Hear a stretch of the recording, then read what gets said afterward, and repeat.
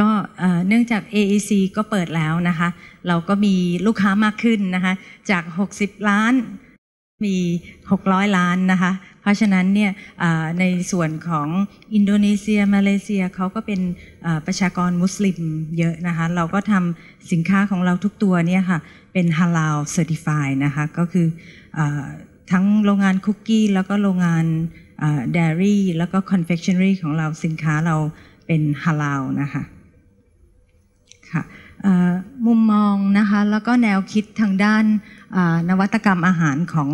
ทาง KCG นะคะคือนุนาชอบอันนี้มากที่สุดเลยค่ะคุณบ๊อบแมคโดนัลล์เนี่ยค่ะซึ่งเป็น former chairman แล้วก็ CEO ของทาง P&G อะค่ะคำนี้มันตรงจริง ๆ เลยค่ะเขาบอกว่า we know from our history that while promotions may win quarters innovation wins decades อันนี้หมายความว่า เวลาเราทำลดลดราคาอย่างเงี้ยค่ะ ลดราคาโอเคช่วงหนึ่งสามเดือน ยอดขายพุ่งขึ้นใน quarter นั้น แต่ว่ามันไม่ได้ยั่งยืนมันไม่ได้ sustainable ยอดขายคุณพุ่งขึ้นใน quarter นั้น เป็นเพราะคุณทำลดราคา margin คุณก็น้อย แต่ว่าถ้าคุณทำ innovation เมื่อไหร่เนี่ยยอดขายคุณพุ่งขึ้น margin ก็สูงขึ้น แล้ว innovation นั้นจะอยู่ในตลาด เป็น 10 ปีเป็น decade นะคะไม่ใช่แค่ในควอเตอร์เดียว เพราะฉะนั้นเนี่ยทาง KCG เราก็เห็นความสำคัญของ innovation นะคะเราถึงลงทุนตึก R&D Center เราเนี่ยค่ะร้อยล้านเพื่อจะทำ R&D และ innovation อย่างเป็นรูปแบบนะคะค่ะในการที่เราจะทำ development กับ R&D อะค่ะ เราจะต้องดูเทรนด์ของ food industry นะคะ คือเราจะคิดค้นอะไรขึ้นมา เราก็ต้องดูทั้งเทรนด์แล้วก็ consumer demand นะคะในในเทรนด์ที่เรา analyze ว่าเป็นเทรนด์ของ future ในตลาดที่เมืองไทยเนี่ยนะคะก็คือ customization ก็คือทำให้ตรงใจกับลูกค้าตรงความต้องการของลูกค้านะคะ แล้วก็อีกส่วนหนึ่งก็คือ environmentally friendly นะคะ ก็คืออเดี๋ยวนี้คนก็รักโลกมากขึ้น รักประเทศ ของเราเองมากขึ้นนะคะ เราก็ต้องออกสินค้าที่เป็น environmentally friendly ทั้ง packaging แล้วก็พวก clean food ต่างๆนะคะ แล้วก็ convenience ก็สำคัญ เป็นเพราะเดี๋ยวนี้เนี่ยคนไทยก็อยู่คอนโดมากขึ้น ในคอนโดนี่ก็ไม่สามารถไปผัดทำครัวอะไรแบบหนักได้ เพราะฉะนั้น convenience เนี่ยจะตอบโจทย์ไลฟ์สไตล์ที่เปลี่ยนไปของคนไทยในทุกวันนี้นะคะ แล้วก็ functional food คนแคร์เรื่องสุขภาพก็จะทานอาหารที่มีเป็น functional food ที่ทำให้ร่างกายเราแข็งแรงมากขึ้น สดชื่นมากขึ้น แล้วก็ไม่แก่ไม่อะไรเป็นสาวอย่างต่อเนื่องนะคะ แล้วก็เอจิ้งค่ะ เดี๋ยวนี้ไม่ทราบว่ากี่คนแต่งงานแล้วคะเนี่ยค่ะ คนแต่งงานน้อยมาก เพราะฉะนั้นเนี่ยคนไทยก็จะอยู่ aging population ในเร็วนี้นะคะ เป็นเพราะ เดี๋ยวนี้คนไม่แต่งงานพอไม่แต่งงานก็ไม่มีลูก ก็จะมีแต่คนอายุมาก เด็กๆก็จะน้อย เพราะฉะนั้นใครที่ทำธุรกิจโรงเรียนนี่ก็จะต้องคิดทำธุรกิจใหม่แล้วนะคะเป็นเพราะวันหลังจะไม่มีเด็กนักเรียนแล้วนะคะท่านนักเรียนอนุบาลปฐมอะไรอย่างเงี้ยค่ะค่ะในส่วนของ customization นะคะ คือทาง KCG เนี่ยค่ะ เราเห็นว่า customization เป็นสิ่งที่สำคัญ มันเป็นสิ่งที่เราเนี่ยสามารถ โฮลูกค้าเราไว้ได้ เป็นเพราะเราทำเนยเราทำชีสเนี่ยค่ะ จริงๆแล้วเนยกับชีสจากเมืองนอกเนี่ยเขาเป็นต้นต้นตำรับต้นฉบับของเดรี่แล้วเดี๋ยวนี้เรามีพวก FTA เนยกับชีสที่มาจากออสเตรเลียนิวซีแลนด์เดี๋ยวนี้ก็ถูกลงนะคะถ้าสมมติว่าเราไม่ทำ customization หรือว่าทำ innovation เนี่ยคนก็จะไปซื้อสินค้านำเข้าหมด แล้วก็ไม่ไม่ซื้อของแบรนด์อารารีเพราะฉะนั้นเนี่ยเราจำเป็นที่จะต้องทำคัสตอมไมซ์ให้กับลูกค้า คนไทยเราจะต้องมี localized flavor localized taste เราก็ทำสินค้า dairy พวกนี้ค่ะ ให้ตรงปากตรงความต้องการของคนไทย ในส่วนของ food service เป็นโรงงานที่ทำอาหารเนี่ยค่ะ เราก็ต้องทำสูตรพิเศษให้กับลูกค้า อันนี้ก็เป็นตัวอย่างของเอแคลนะคะ ที่เราทำทั้งตัวแป้งมิกซ์แล้วก็ตัวไส้เอแคลเนี่ยให้กับทาง third party ที่เขาทำตัวเอแคลนี้ขึ้นมาแล้วก็ supply ให้กับ7 e เ e ่ e ออันนี้เป็นสูตรที่ customize ให้กับ ทาง7 e เ e ่ e อเพราะฉะนั้นเนี่ยยังไงเราคิดค้นอันนี้ขึ้นมา7 e ก็ต้องซื้อเรา เขาไปซื้อคู่แข่งเราไม่ได้ เพราะคู่แข่งเขาไม่ได้ทำ customize มันไม่ได้มี on shelf อยู่นะคะเพราะฉะนั้นอันนี้ก็เป็นวิธีที่เราจะคีปลูกค้าได้ แล้วก็สร้างความมั่นใจให้กับลูกค้าว่าโอเค เรามีความสามารถที่จะพัฒนาสินค้าให้คุณนะ เราคุณอยากได้เทรนด์แบบไหนอยากได้โปรดักต์ใหม่ แบบไหนเนี่ยเราสามารถทำให้คุณได้นะคะค่ะ environmentally friendly ก็เช่นกันนะคะ เดี๋ยวนี้คนก็รักโลกมากขึ้น แคร์เรื่องโลกร้อนโลกอะไรนะคะ เพราะฉะนั้นเนี่ยออย่างเช่นที่เมืองนอกเนี่ยจะเยอะแต่เมืองไทยนี่ก็ยังอาจจะน้อยอยู่เมืองไทยก็จะเป็นน้ำดื่มน้ำทิพย์นะคะ ก็สังเกตดูขวดเขาจะบางมาก ใช้พลาสติกน้อย เพราะฉะนั้น เขาก็จะได้เอาไปรีไซเคิลได้แล้วก็ไม่ต้องเวสพลาสติกเยอะนะคะเพราะจริงๆแล้วมันไม่จะเป็นที่จะต้องมีขวดที่หนาๆนะคะแล้วก็ในส่วนของขนมปังของ King Mill อะค่ะที่อังกฤษอะค่ะในส่วนถุงที่เขาใส่ขนมปังเนี่ยค่ะเขาทำด้วย 100% recycle virgin packaging virgin packaging นี่ก็คือ packaging ที่ออกมาเป็น waste จากลายผลิต ถุงอะค่ะเขาก็เอาไอ้ waste พวกเนี้ยมา recycle เป็น packaging ใส่ขนมปังอันนี้นะคะซึ่งทางนักวิจัยก็อาจจะคิดค้นอะไรแบบนี้มากขึ้นนะคะในทางด้านกรีนหรือว่าทางด้านรีไซเคิลนะคะค่ะทางด้านคลีนแล้วก็ natural ก็เป็นเทรนด์นะคะเดี๋ยวนี้ออร์แกนิกต้องการทานสินค้าที่เป็นออร์แกนิกนะคะ ต้องการทานพวก fat free นะคะ sugar free real fruit อะไรที่เป็น real ทั้งหลายแหล่นะคะ แล้วก็เนี่ยค่ะออร์แกนิก natural ก็นักวิจัยเห็นเทรนด์ตรงนี้ก็ถ้าคิดค้นอะไรที่เข้ากับเทรนด์ตรงนี้เนี่ยค่ะทาง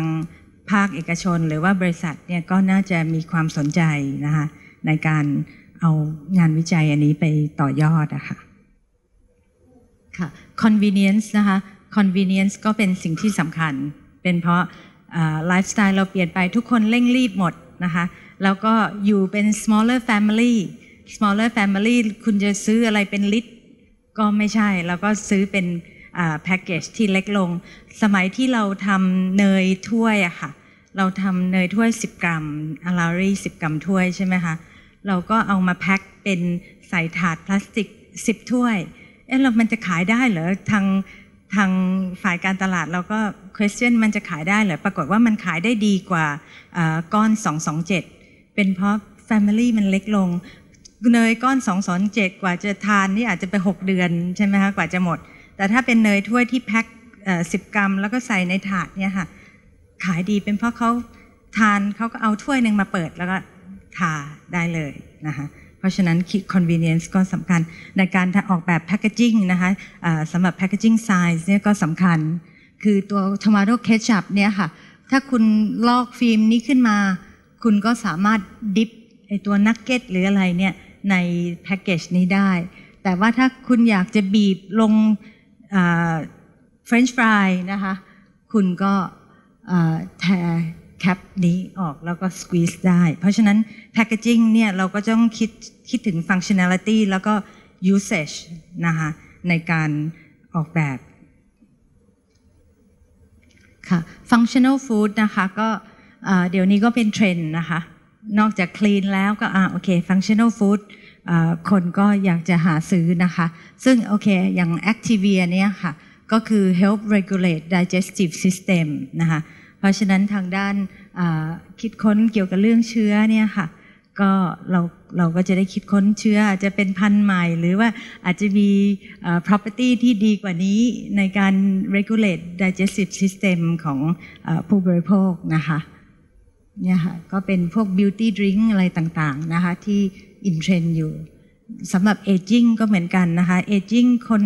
มีอายุก็จะเรื่องกระดูกเรื่อง เข่าข้ออะไรพวกนี้นะคะ ก็จะมีพวก drink ที่สำหรับ elderly มีกลูโคซามีนนะคะ แล้วก็ lower cholesterol นะคะที่ที่เป็น health benefit ที่เราสามารถโฆษณาได้นะคะ อันนี้ก็จะเป็น nutritional nutritional labeling ที่ attract consumer ได้นะคะค่ะก็เราจะ succeed กับ NPD ยังไงนะคะ ก็คือ successful new product เนี่ย จะต้อง stand out from the competition ก็คือ new product ของเราจะต้องมีจุดเด่นกว่าคู่แข่งนะคะ เป็นเพราะถ้าเราทำเหมือนคู่แข่งเราออก me too product เนี่ยเขาก็มีแบรนด์ loyalty กับเจ้าแรกที่ออกมาอยู่แล้ว เขาก็ไม่ได้ แล้วทำไมเขาต้องมาซื้อแบรนด์ที่สอง เพราะฉะนั้น